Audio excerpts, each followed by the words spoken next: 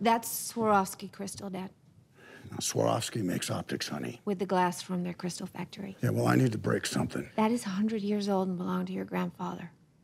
Break something else.